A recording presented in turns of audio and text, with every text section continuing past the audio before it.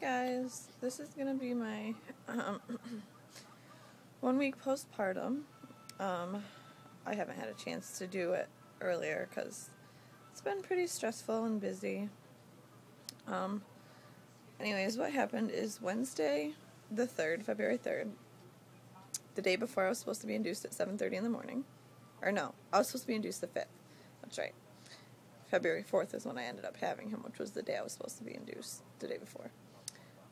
Um, so, anyways, February 3rd, I went to bed um, having some pretty bad back pain and um, cramping, but I had been having back pain, so I didn't really think anything of it. Went to sleep, um, got maybe an hour of sleep, got out of bed the next morning, and was having insanely bad pain. Like, it was just pains everywhere, and there was no break. So I didn't think I was having contractions because there was no break in between. It was just like a constant pain.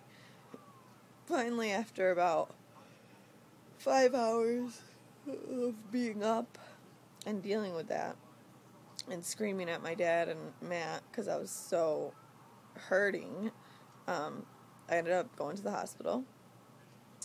Got to the hospital and I was four centimeters dilated, 100% effaced. Um, and I was having contractions pretty much constantly. There was maybe 10 seconds in between them, so they were they were pretty consistent. That's why I was in so much pain. Um, but I didn't want to have an epidural, so I waited four hours there, having still constant pain. I was dealing with it pretty well. The nurses were like, I can't believe you don't want anything. You're having almost a constant contraction. I don't know how you're dealing with it.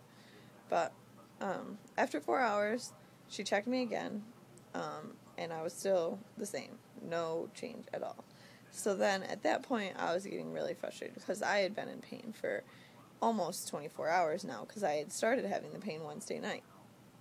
So, um, I think it was around, let's see, we got to the hospital at 4. It must have been around 9 or 10, maybe even 8. They broke my water. Um, after they broke my water, the first contraction I had, I couldn't take it anymore. That was even worse. Like that made them even stronger. They were already really strong and really close together, but that made it a hundred times worse.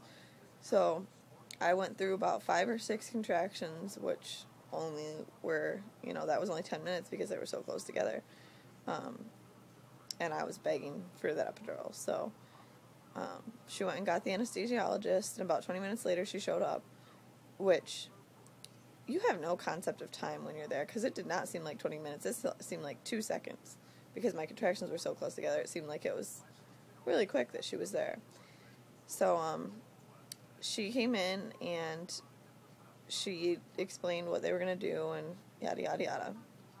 And, um, she started to do the procedure and the nurse was pushing the bed because the bed was rolling, it wasn't locked while she was putting the needle in my back. So I started freaking out because I thought that she was going to end up paralyzing me or something. And I told her that um, it felt like it was in only one side. Like I felt like the needle was only in one side. I could feel it in one side.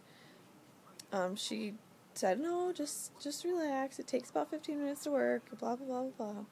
So they started the medicine, and not even five minutes later, my whole right side was completely numb. My left side was still hurting. I said to the anesthesiologist, I can still feel everything on my left side really bad. She said, "You need to relax. It should. It takes longer than five minutes. Blah blah blah blah blah blah." Well, half an hour later, I'm still feeling pain on my left side. So there was nothing they could do unless they redid it, and I didn't want to do it again. She obviously didn't know what she was doing, so because she didn't even have me sign the consent form until after the procedure. So that could have been her job there if I hadn't signed it, because she had already done it. I didn't have to sign it. Um, but, anyways, so after that, it was a little bit easier. Um, I mean, it's it's a lot easier to only feel it fifty percent instead of hundred percent because I only felt it on that one side. And um, mostly I was having back labor, so it was even worse than I would imagine, because um, they said that usually back labor is more painful. So after about an hour um, they, of having the epidural, um, they came back in they wanted to start me on Pitocin, but I said no, I don't want to do Pitocin because I was having regular contractions already that were so close together. But since I wasn't dilating anymore, they wanted to do it. But she came back in after only an hour of having that epidural done, and I was nine centimeters, and she said almost ten. So she said whenever I felt the urge to push, to just let her know, and um, she stayed in there the whole time, which is weird because the whole maternity ward was full. Every other time I've gone there in false labor, it's been empty, but the time I actually go there, it's full. So um, she stayed in there with me the whole time, and usually the doctors only come in when you are about to push. Um, so I was really happy that I had her because at my office there's four different doctors that you could potentially have, and I was really glad I had her. Um, but anyways, so um, about 15 minutes after that, I was 10 centimeters. Still wasn't feeling the urge to push, and I wanted to wait until I felt it because I didn't want to be pushing when he wasn't down far enough. So um, I started to feel it a little bit, so we decided to start pushing. And um, I ended up pushing for almost two hours. Had him at 11:55 p.m. on February 4th, and he weighed seven pounds, 11 and a half ounces, 20 inches long, and um, his umbilical cord was five and a half feet long, and it wasn't even wrapped around him once. So we got really lucky with that. She said she hasn't seen a cord that long ever. She actually even pulled out a measuring tape to measure it and took pictures and everything because she she said it was so long. Um, I'll see about maybe putting up a picture um, in my next video, not in this one because I'm not going to have time. Um, but after that, um, I she said I could try breastfeeding. I didn't even have to do anything. He latched on on his own, perfect. The lactation consultant said she'd never seen a newborn baby do that without having some sort of coaching because I didn't even touch him. He just latched right on, and um, so he did really good with that. Um, that night, I didn't sleep at all because I was really worried about him. Like I just was really paranoid. I'm a very paranoid person. I was paranoid he was gonna stop breathing or something. So I just sat there holding him all night. Um, didn't sleep the next day really either. And then the next day we went home. Um, I had my dad watch him for a little while so that I could get a little bit of sleep. But since I was breastfeeding, it wasn't much because he wanted to eat.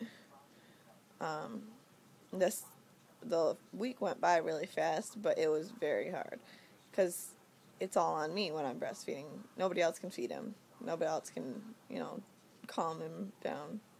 It's all me. So that was pretty stressful, but I'm really glad that I'm sticking with it because I think that's the best for him.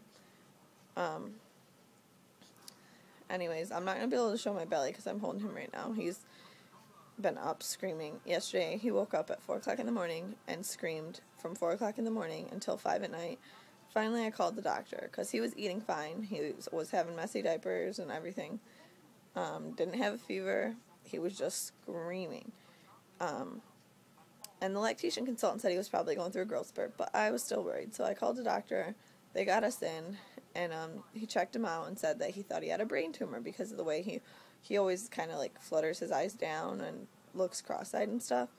Um, so we rushed over to the hospital, and he had a CT scan. We waited there. He was screaming the whole time we were there. Um, finally, they came out with the results, and they said he didn't have a brain tumor, um, but I have to go back today actually, and um, get another checkup just to make sure everything's okay. Um, so he finally is sleeping, and that's all good.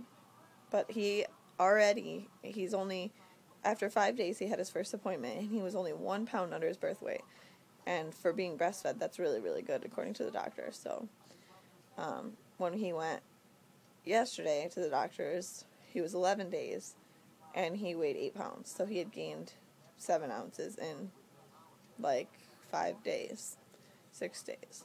So he did really good. He's doing really good. He's a big boy. Um, I can't show you my belly like I said, but I will do that in my next video. Um, I'm going to show you him. The lighting is really bad, so I don't know if you'll be able to see him very well, but I'm going to try, and then I will talk to you guys next week, okay?